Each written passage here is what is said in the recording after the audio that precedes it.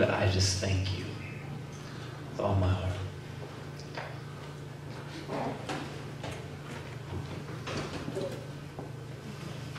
You opened my eyes, Lord, that you gave me praying parents, praying grandma. Lord, in your grace that has just seen me through.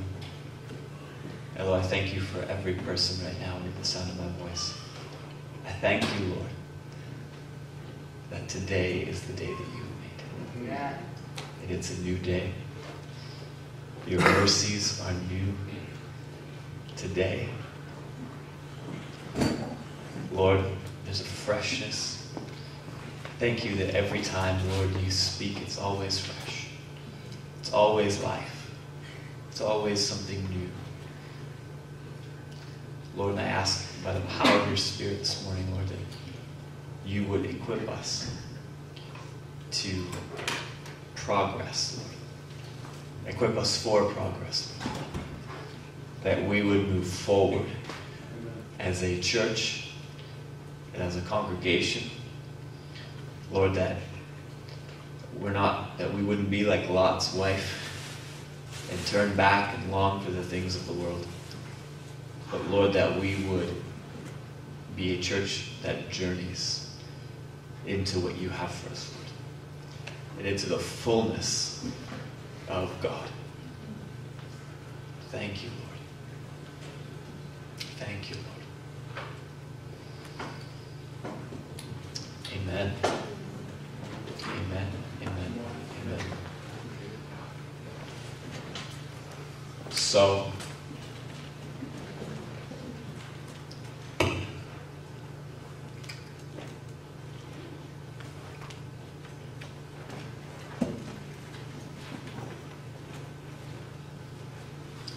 you guys ready? Yes.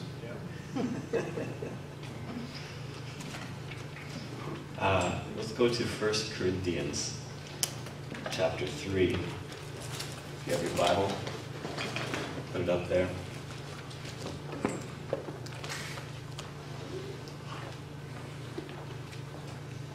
Can everyone see this? Yep. Good.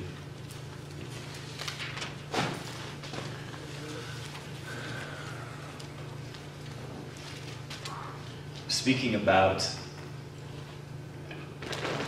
apostolic theology. And if you weren't here the last couple weeks, or this is by way of reminder, uh, the foundation of that is a church that focuses primarily on the Great Commission of God, which is this that people would come to Christ. So we're not here for ourselves. We're not here to get entertained, although sometimes that happens. We're not here for selfish motives, but we're here because we have a mission that God's given us. And when you make that mission the central focus of your life, life takes on a whole new meaning and a whole new purpose.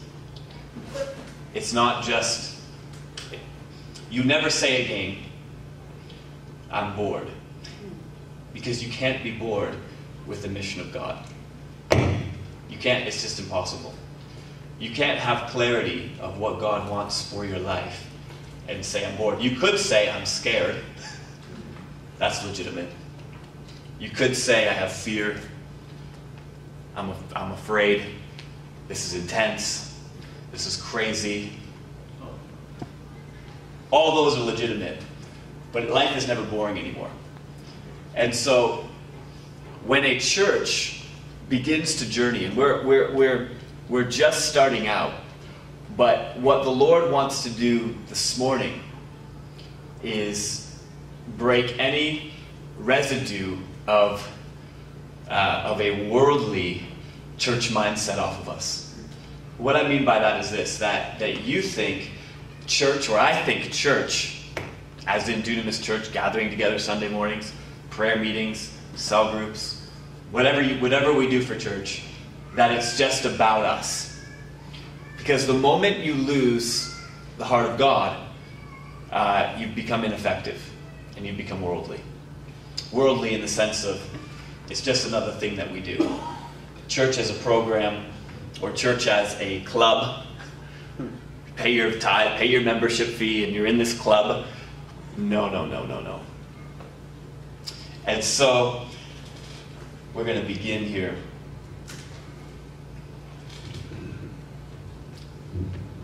Last week, I went home and uh, I thought to myself after church, in Sunday during Sunday afternoon, I thought because I made a statement, and in my mind I kind of felt bad about it, but I felt the presence of God all over it. I said, uh, "But we are worldly Christians," something to, something to that effect. And I went home and I said, "Lord, I." Did, was I wrong in saying that? Because I know that some people here aren't. Some of you are, some of you aren't. But I felt like the Lord said no, because by and large, um, the church needs to shift. Not just Dunamis Church, but the whole church in this city, in Canada. And so we're going to open that open with that this morning. So 1 Corinthians chapter 3, Paul says, I, brothers, could not address you as spiritual people, but as people of the flesh, as infants in Christ. So when Paul says, but I, brothers, he actually, that word brothers in the Greek means brothers and sisters. It's a non gender word. It means he's talking to all the believers. So he's not just talking to men, he's talking to men and women, he's talking to the whole church. He says, I, brothers and sisters, could not, I couldn't speak to you. When, when Paul came and preached at Corinth, he couldn't speak the deep things of God because their minds couldn't handle it. They weren't spiritual. That word spiritual, it literally means this it means to be governed and controlled by the Spirit of God. That's li- li- literally what it means. To be spiritual means your life is governed by God. You listen to Him, you obey Him, your heart is with Him. You're not perfect, but your life is governed by the Spirit of God. The, al- the alternative to be governing, to, to being spiritual, is to be carnal. Now, when you're carnal, your life is governed by your flesh and by demonic spirits. Now, the problem with progress in the kingdom is that by the grace of Almighty God, it's actually a lot of fun, but you get to crucify your flesh. The Bible actually talks about this a lot. It talks about putting to death the things of the flesh, putting to death lust, putting to death sin, putting to death greed, putting to death idolatry. That you're on this journey of surrendering to God. So, um, most problems in believers' lives, when people come to me and talk to me and need counsel, is mostly they need counsel because they've never been taught to put to death their flesh. And so they're living this life, this Christian life, but the enemy is reaping havoc in their lives because of the sin that they're in. You guys feeling me? So then we need help. We don't really need, you don't really need me. I, the first thing I always ask people, I'm not the greatest counselor.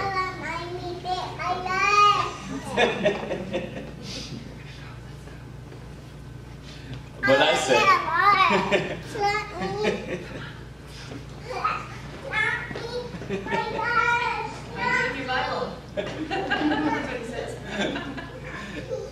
I say, I ask people, what is God saying to you? They tell me all these problems, all this drama is happening in their life. I say, what is God saying? And, and by and large, they say, well, that, you know, they basically say, well, that's what I came to you for. And I said, well, listen, you don't want me to tell you, because if I tell you what God's saying, you're not going to like it. But if God tells you what God's saying, it's tough. Tough luck. You know, it's God. So if I open the Bible and I and I say to you the solution, that thing is gonna is is is is you know it may not feel nice. That's why the Bible says stuff like faithful are the wounds of a friend. You ever go to a friend for counsel and they tell you something you don't want to hear? And then you're like, I thought you were my friend. I thought you loved me. But they tell you the truth. And time and time and time and time and time and time and time and time again, people have come to for counsel or Mark for counsel, and this has been one of the greatest frustrations Mark and I share. And I, I share it with other people as well. But we counsel people and in love, in truth, and it's like they don't want to hear it. And so that's why nowadays I'm very careful. If I sense somebody is still an infant in Christ, I won't even give them counsel because I know they can't take it. If someone is an infant in Christ, and I sense that, um, there's you can't even give them meat. You can't tell them the next steps sometimes because they're still carnal. And so this is what Paul's saying. He said, I couldn't even speak to you as spiritual people, but as infants in Christ. I fed you with milk, not solid food, for you were not ready for it. And even now, you are not ready, for you are still of the flesh. For while there is jealousy and strife among you, are you not of the flesh? and behaving only in a human way. Ouch. So, if you ever say as an excuse about whatever you're doing, well, I'm only human, that's on par with, well, I'm only carnal, or, well, I'm only still ruled by demons. I'm just a human. I thought you had Christ in you. Jesus Christ, the King of glory. I thought he lived inside of you. Who are you to say, well, I'm, I'm, I'm, I'm just a part, I'm only human? God says, no, you're not. He says, greater is he who is in you. James, greater is he who is in you than he who is in the world. When you get to know who you are in Christ, and when Christ becomes your life, and when Christ becomes the center, and when the mission of God takes you over, you're not only human anymore. Now you have Christ, the supernatural grace of God. The same Spirit that raised Jesus from the dead lives inside of you, and there's nothing impossible for you anymore. So you're not only human, you have no excuses.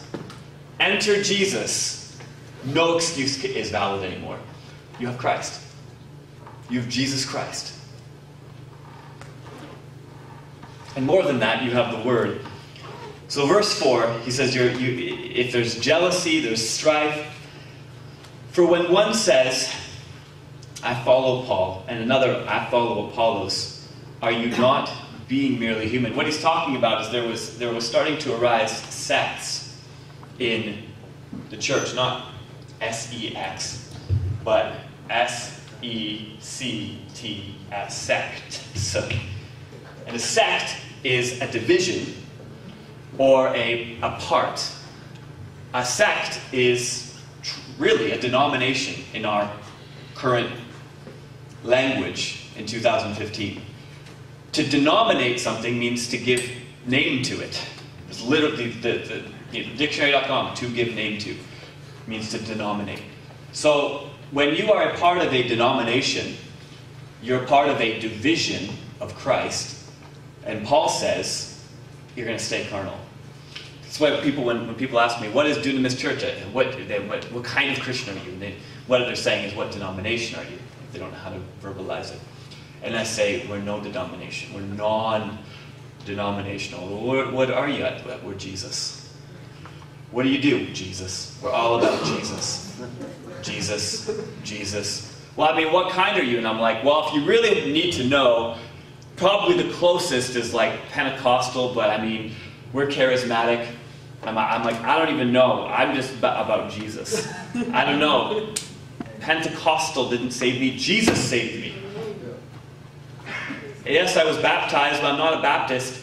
Jesus saved me because I was baptized into Christ. I wasn't baptized into a denomination. Yeah. I wasn't Catholic. You know, I'm, it's all about Jesus. It's about Jesus. And so, people are stuck in, in a form of church life that holds them back from the mission of God. Because they go to a church and they, they get identity out of, well, I'm Baptist, well, I'm Catholic, well, I'm Presbyterian, well, I'm Anglican, well, I'm Pentecostal, well, I'm Charismatic, well, I'm Vineyard, well, I'm Toronto Airport, well, I'm this, well, I'm that. I, I just, some people, they don't go to church, they just watch Benny Hinn or they watch Creflo Dollar. I know lots of. You're going to stay carnal and you're going to stay uh, an infant in Christ unless you begin to journey out of that realm of thinking. That you're not denomination. This is about Jesus. So Paul says, you know, are, when one says, I follow Paul, another says, I follow Apollos, are you not being merely human, carnal of the flesh? What is then is Apollos? What is Paul? Servants through whom you believed. So I'm not against, I'm, I'm all for every church. Because every minister, every church, every person is just a servant, it's a conduit to get you to Christ. Christ is, is what we're after. Jesus is what we're building on. It's Christ. Amen? Servants whom you believed, as the Lord assigned to each, I planted, Apollos watered, but God gave the growth. So neither he who plants is anything, or he or he waters anything, but it's God who gives the growth. And you plants and you waters are one, and each will receive his wages according to his labor. For we are God's fellow workers, you are God's field, God's building, according to the grace of God, given to me like a skilled master builder. I laid a foundation. Let each one take care who, how he builds on it. Verse 11. For no one can lay a foundation other than that which is laid, which is Jesus Christ. Amen. So when we talk about building a church or apostolic mission or working or apostolic theology, when we talk about getting busy for Jesus, by no means are we talking about when you get busy for Jesus, now you're going to gain favor in God's eyes, or when you get busy for Jesus, now you're going to be some type of better Christian. You're already as good as you can get. Jesus Christ saved you, He did all the work. You're saved, you're purified, you're holy. Even if you are still an infant in Christ, you have Jesus in you, and He's done all the work. Now, what we do, when you realize that, you're going to get busy. And it's actually the most fun, the most effortless, in the sense of you just, there's a fire inside of you. I don't know who here loves to watch fires burn. I love to watch natural fires burn, but even more than that, I love to see the fire of God burning in a heart. I love what God is doing in Danica. When I see her, after since I, you know, post history makers, something, the, the fire got ignited in her life. God burned up a whole lot of stuff. Yes, it was hard. She spoke in tongues. The fire came, and it's still burning. And this is what this is what we need. We need the fire of God to burn in our hearts. We need to ask God, Lord, light that fire. It's the grace of God. You're asking, but He does it. light that fire in my heart. Consume me. So, we're talking about uh, the cost. Last week we were talking about the cost of being um, an apostolic church. And I want to talk about this for, for, for, for the rest of the time we have together. Um, but I wanted to lay that foundation first and simply say this this is all about Jesus. If you've received Him, you have it already. You have Him. Now, the mission is bring Him to others. You have them, bring them to others. This is what we're, this is what we're doing. This is what we're about. So go to uh, go to 2 Corinthians. A few pages over. 2 Corinthians.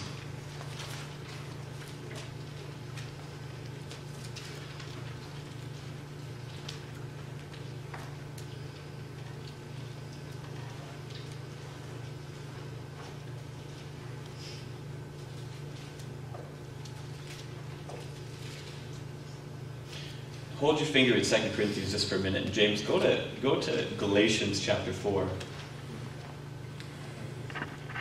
Just for a moment. In verse 19,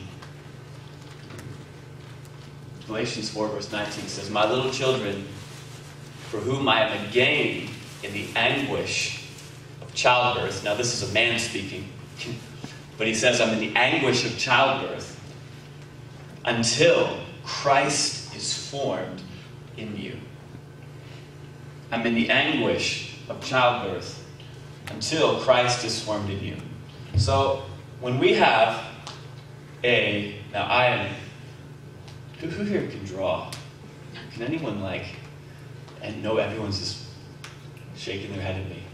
Okay, I'm going to try my best, but you promise not to laugh. I'm just going to draw stick men.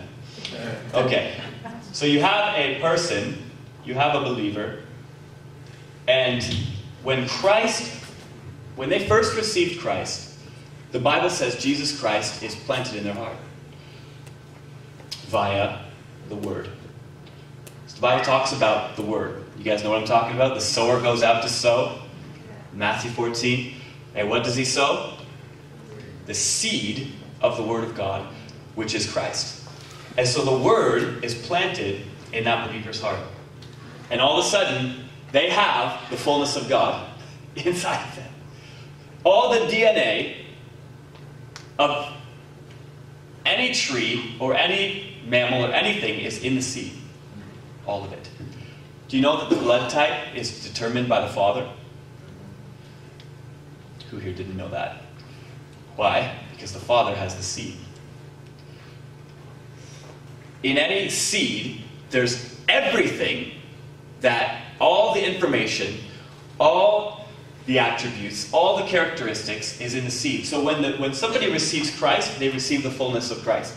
But even though they receive the fullness of Christ, their mind is still clouded by the things of the world.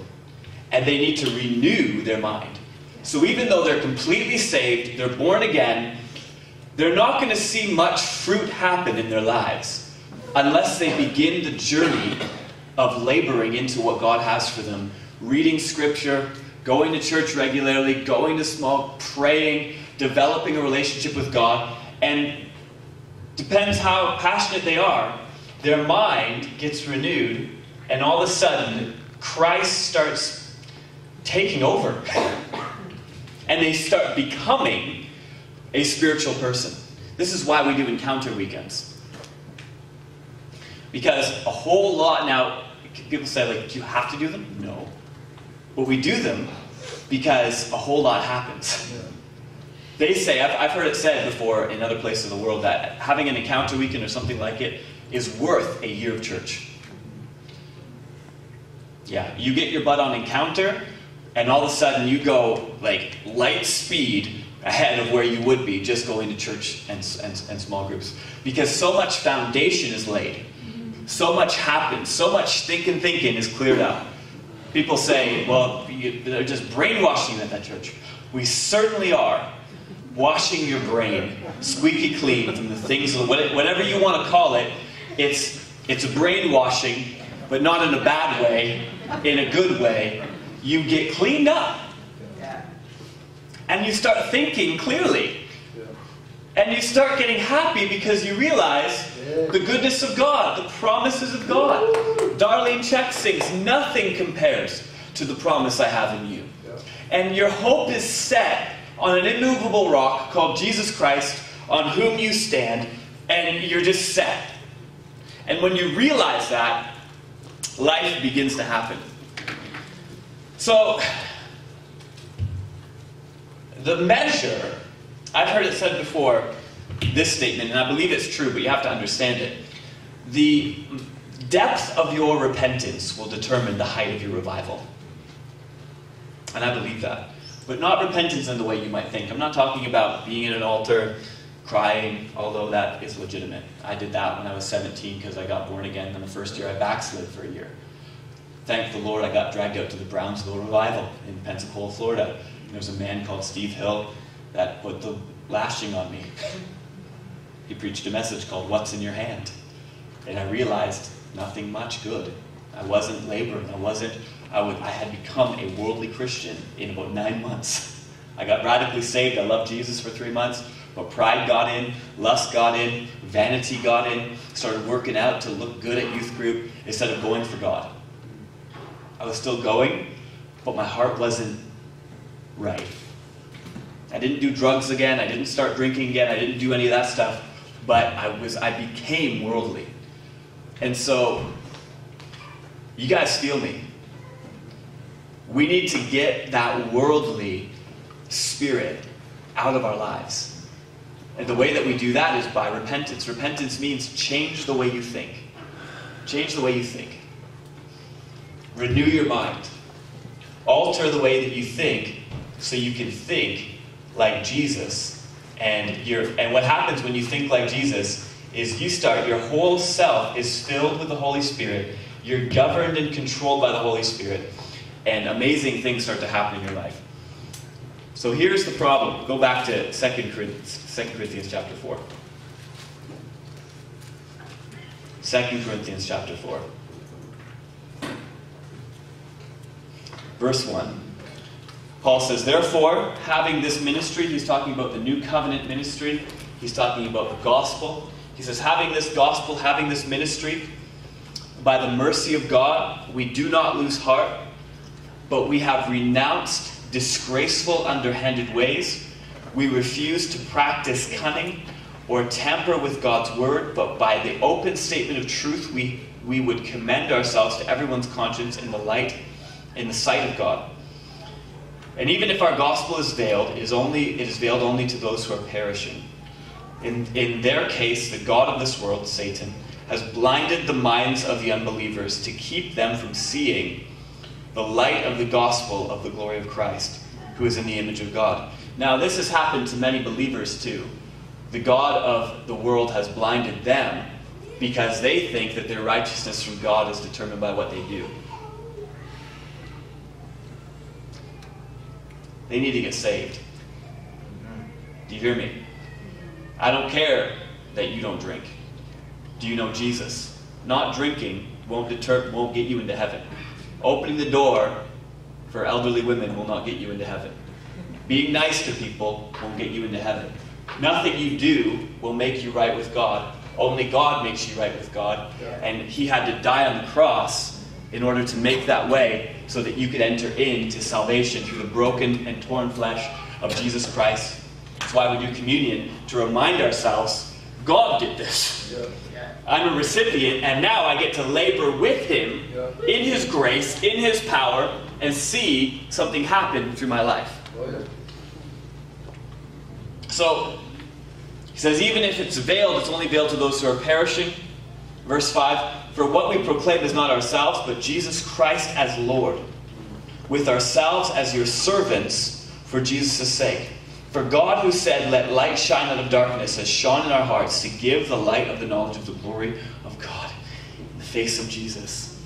But we have this treasure in jars of clay to show that the surpassing power belongs to God and not to us.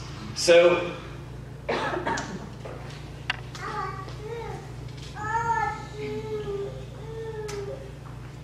the problem with surrendering to Jesus and Him working in your life.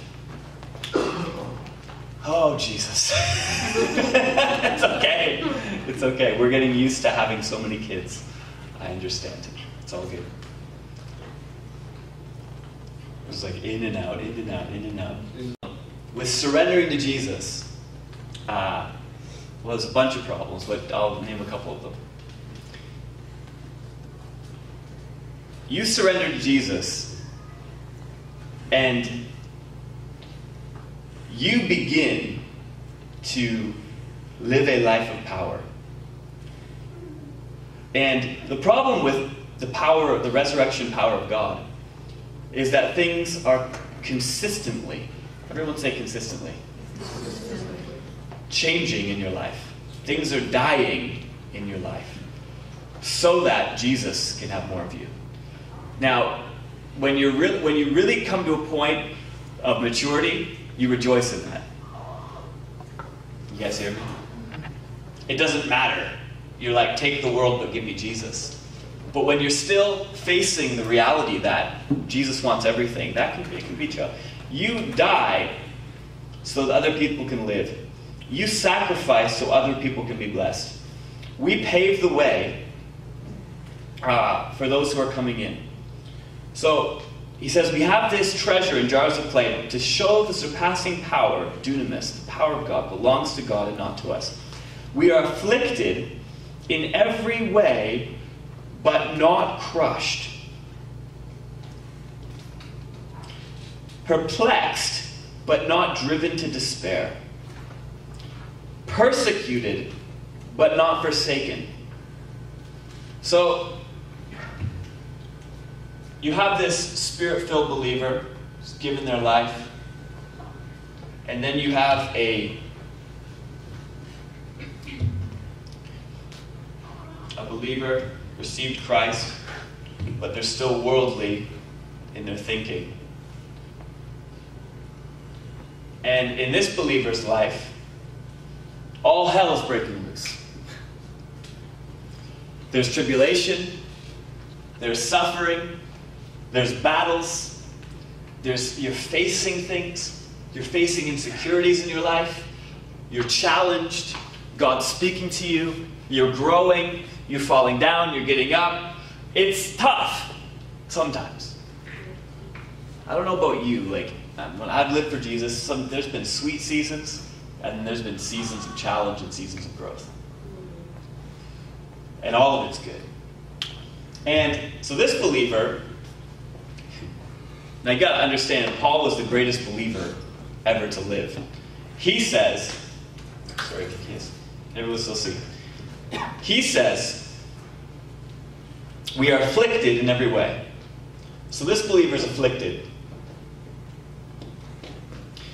And then, to boot, you have the worldly believer who's like judging the one that's on fire for God because they're not afflicted. Yeah. The devil doesn't attack them. He does, he's just killing them slowly. But there's not that sharp conflict. So he says, I'm afflicted in every way.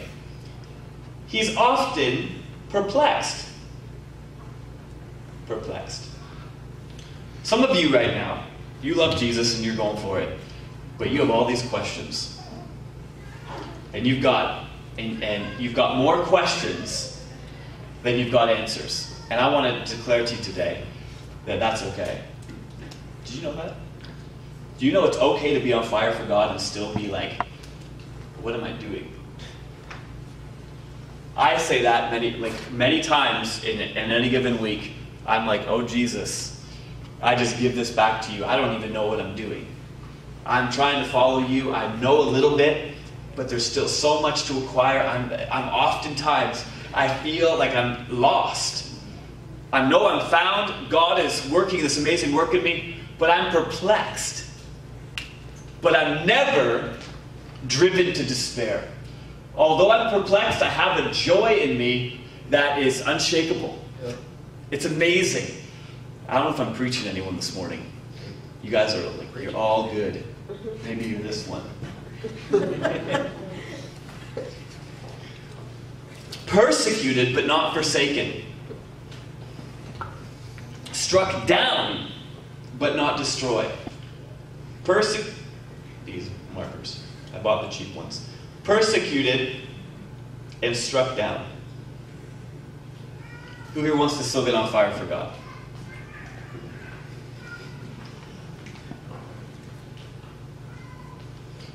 I'm talking this morning about the cost of being a church that progresses. Oh, I want to get on fire for God. Do you?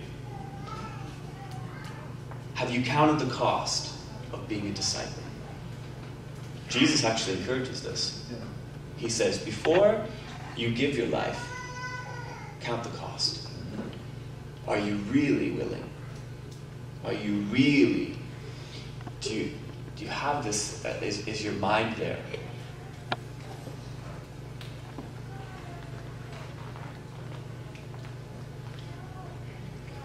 Always carrying about in the body the death of Jesus, so that the life of Jesus may also be manifested in our bodies.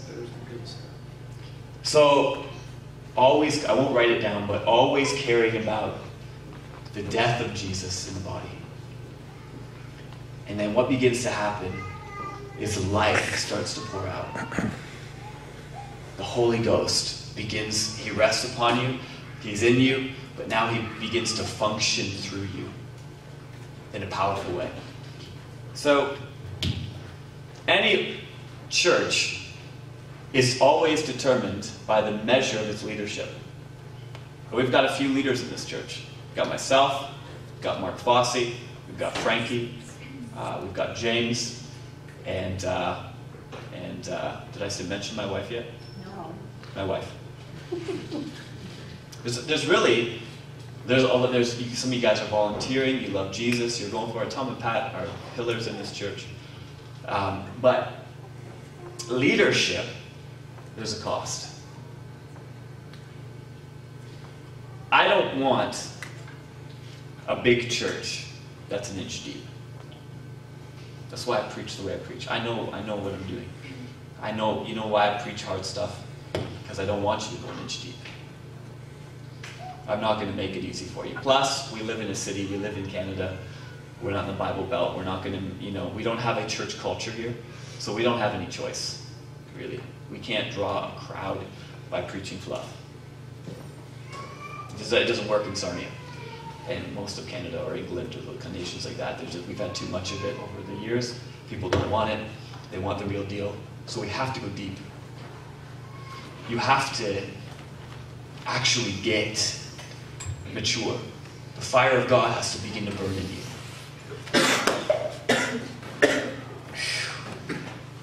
Bless you, Laura, and your family and all that pertains to you.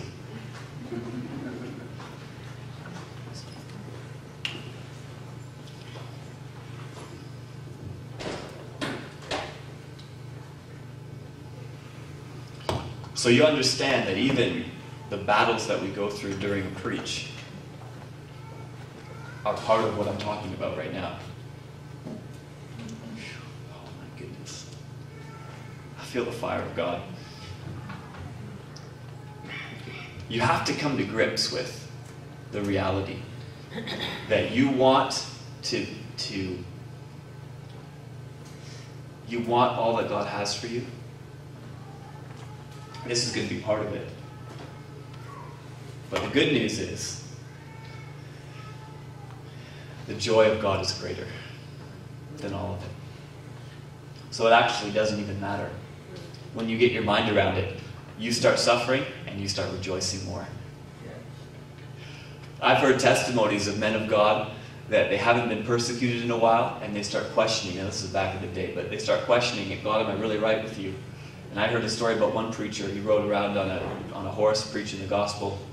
And he was like God. He thought he, he was starting to repent because he thought no one had tried to kill him in a while. And so he thought he wasn't right with God. And then all of a sudden, two guys come out and they start throwing rocks at him. And they, they're missing left it. And he rides away. He says, Praise God for God. oh, Jesus. Somebody still wants to kill me.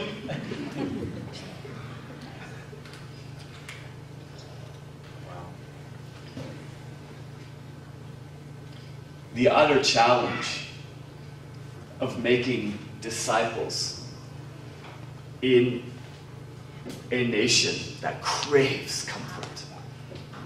Oh, it's so challenging. Jesus, help us. We need the grace of God. We need the grace of God. Some of you are thinking about lunch right now while I'm preaching. Because, because, because you're here. Some of you, you haven't even glued into me at all. Your mind's a million miles away. We need it. We need to have an apostolic church. which is which the goal of that is mature believers who are releasing the power of God wherever they go, and a movement of the river of God begins to flow out of broken vessels that are in love with Jesus and have given up their lives. It's what it is. So I want to I have good news for you. If you're struggling and you're afflicted and you're persecuted and you feel struck down and you're confused and perplexed, you're probably in a good place. That's good news for some of you. Some of you, you may not feel any of that, you just feel defeated or whatever. And get on encounter. Um,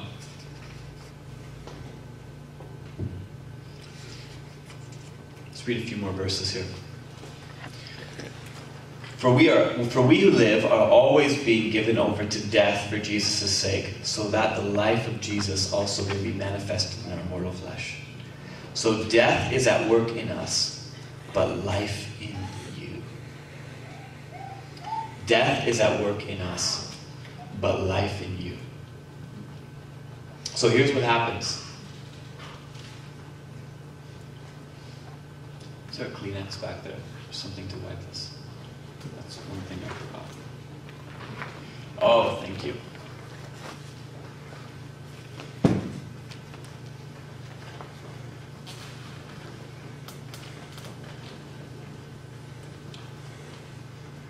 This makes it worth it. Every we'll just make every dot a believer, okay? So right now,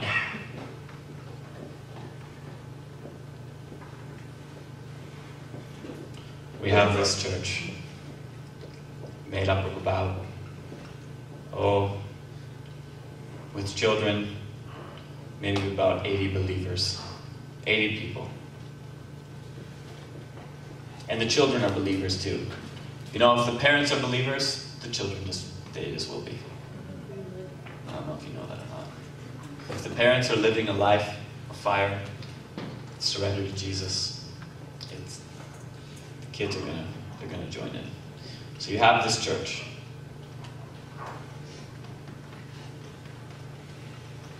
This is where we are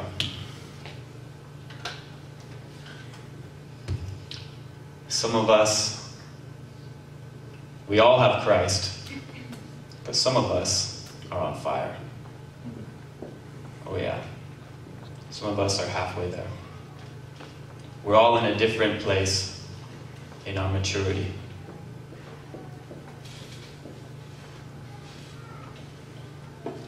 The reason why we meet together, the Bible says, do not forsake the assembling of yourselves together. In other words, don't stop connecting, getting together. So, Kyle was, I wanted him to testify, but he forgot. We talked, he phoned me at 10 o'clock at night. Most of the time, I, I don't answer phone calls at 10, but it was just before 10. So I said, oh, I'm going to answer it. So we chatted for a bit, and Kyle, come on up here. And what, share the testimony briefly in, in two minutes, what you shared with me last night. You want me to share about prayer group? Yeah. So I had been struggling a little bit and uh, backstepping there for a little bit, and it's not that I had lost my faith, but I started to put the things that I wanted in my life just as close to the things that I needed in my life, and uh, I became a little bit more self-seeking than I had been in the last while. Um, I was still I was still having my devo- devotional time, um, but I started to take things back into my hands instead of turning them over to God. And, and the result of that, I started to struggle. Um, this week, I met up with some of the guys that are speaking into my life, and uh, that really helped. You know, I increased my devotional time. And then come Thursday, I was working. I worked till it was uh, a quarter after six that day, and I knew I had just enough time to make it into prayer. And uh, where we were working that day, the lady came out and she said, "But I cooked you guys dinner." And I really struggled with that. I'd been working all day. I was hungry, and I started thinking, I'm like, how can I eat and go to prayer? I said, okay. I said, I'm not going home to get ready. I said, I don't care if I go in the clothes I've been wearing all day, that I'm dirty, that I might smell. I said, I don't care. I said I need to be there. I felt very led to be at prayer the other night. And uh, what that did, the, the presence of Holy Spirit that night, it, it was moving in a powerful way. And in a result of that, I'm, I'm back on fire for God again. It's not that I lost my faith, but I, but I didn't have that fire as strong as that I had in the past. And, uh, and since then, you know, I, I'm, I'm preaching the gospel again. I'm reaching out. I'm trying to be there for people. It's put me back where I need to be. We can clap for that. That's a good testimony. But so what happens in this little? We had 10, 10 people there on, on, on Thursday night, and uh, and uh, I don't know if you know this or not, but, but prayer is like typically the smallest meeting of a church. Prayer. Go figure. it's like the most important thing is the smallest thing. And uh, so we've got about 40 people right now in this room. Now I know some of you live 40 minute drive or half an hour drive or whatever. Some of it's, you've got things going on. That's life. And so I understand not everyone can be there. But I was so encouraged by that. And, I, and it was actually probably the most powerful prayer meeting we've had all year. For those of us who were there, presence of Holy Spirit was, was strong. Like, my goodness, powerful. God just showed up. It was encouraging. We all started. And so, what happens is, there's all these us people, and we're all in different places. Some of us have a lot of the Lord, like the presence of the Lord in our lives. You realize, again, all of you, if you've received Jesus, you have all of Jesus. The question is, which is this is up for debate, how much of you does he have? You have all of him. The fullness of the grace of God, James. Everything. You have it all. The question is, how much of you does he have? And meaning, how much do you think like him?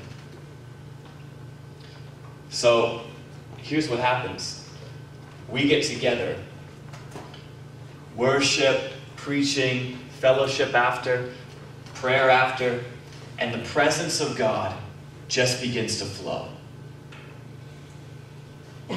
And we all, we all increase. And what happens is, it's like a canopy of God's presence and His, and His love comes over us every time we meet. It's really powerful.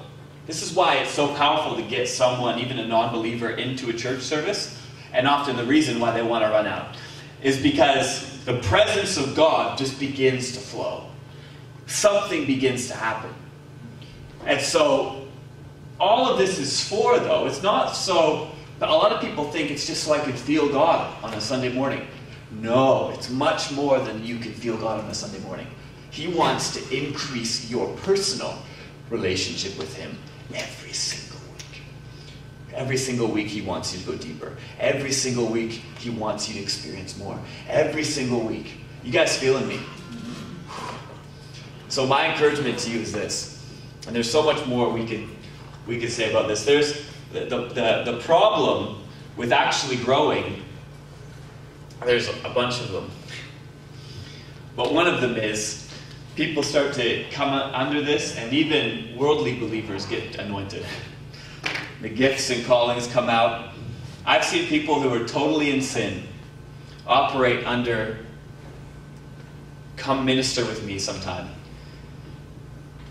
and just do miracles. And then they think, well, that validates my sinful life or something like that. No, no, no. You just got into a powerful place. There's so much power that is released when we are together. So much. So much. Let's just stand up. We'll give us some grace this morning. Lord, I just thank you for every person under the sound of my voice right now. Lord, I pray for them. And I pray that they would not grow weary while serving you. And Lord, that they would not grow weary in their pursuit of planting the gospel in their families, in their neighborhoods, Lord. Lord, and I pray that you would mature us as a house, as a, as a church, Lord, that you would give us wisdom as a leadership team and those who are coming into a place of influence and leadership, Lord, that um, and those who are just beginning that journey. Holy Spirit, Holy Spirit, just flood over us, Lord. Flow over us, Lord. Just grab the hand of your neighbor right now. Grab someone's hand, squeeze it real tight. Squeeze it real tight. Holy Spirit. Just say this with me. Holy Spirit. Holy Spirit, Come. Have your way in my life. have your way in my life. Do whatever you want to do. Do whatever you want to do. Baptize me afresh. Fill me afresh. Fill me afresh. Your word says, Your word says, do not be drunk with wine, do not be drunk with but be filled wine, but be with the Holy Spirit. Holy Spirit. Fill me. Holy Spirit, fill me. Overcome my weaknesses. Overcome my weaknesses. Your grace is all I need. is all I need. Come and fill me. Come and fill me. Come and change me. Come and change me. Come and do your work in me. Come and do your work in me. I give you my life. I give you my life. I give you my body. I give you my body. I give you my mouth. I give you my mouth. Speak through me. Speak through me. I give you my brain, I give you my brain. my mind. My mind. I want to think your thoughts. I want your thoughts. Abide in me, Lord. Abide in me, Lord. Have your way in me. Have your way in me. Have your way in our church. Have your way in our church. Lead me Lead me to those who need you. to those who need you. I want to be your vessel Of honor. In Jesus' name. In Jesus' Sanctify me. Sanctify me. Set me apart. Set me apart. Wash my mind. Wash my mind. Wash my heart Wash in the water of your word. word. Change my life. Change my life. In Jesus' name. In Jesus' name. Amen. Amen. Amen. Hallelujah. Amen. Amen. Well, that's all we can do today. It is 12 o'clock.